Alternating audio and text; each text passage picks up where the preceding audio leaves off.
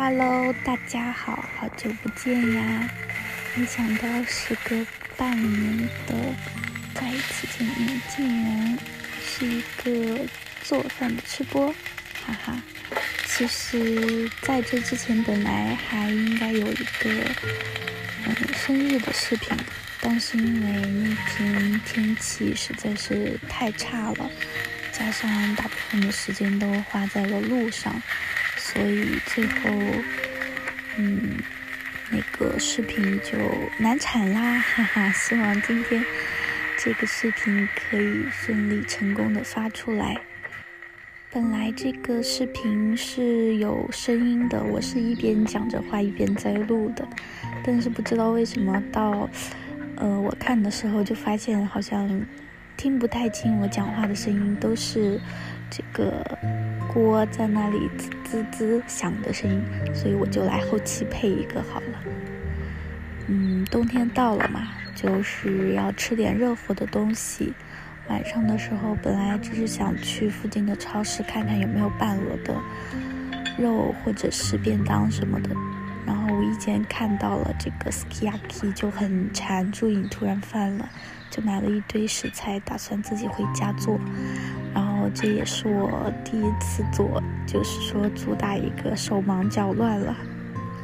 之前在国内吃的时候都是煮多少放多少，但是我看了好几个视频，他们都是这样子一下子把所有的食材全部都加进去，所以我也就嗯尝试了一下这么做，但是事实证明这么做就是会吃不完。这个香菇也是我自己改到的啊，好丑！弄了一点白菜，因为这个锅太深了，弄了点白菜把它垫起来，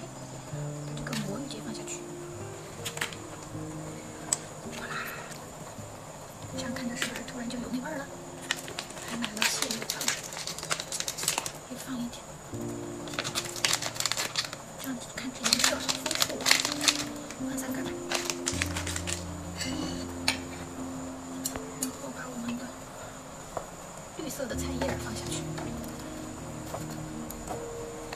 好，接着我们就只需要等它煮沸啦。对，倒一次酱汁。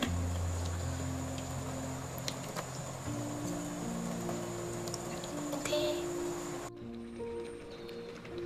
看，单手操作有点麻烦，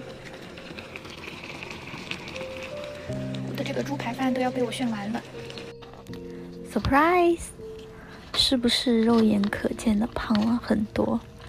其实这也是我这几个月很少更新社交平台的原因，因为就是我家里人觉得我太瘦了，然后在家的这段时间都会被强行的 喂投喂很多的东西和饭，加上就之前可能三餐什么的都不太规律，回家之后呢都很固定。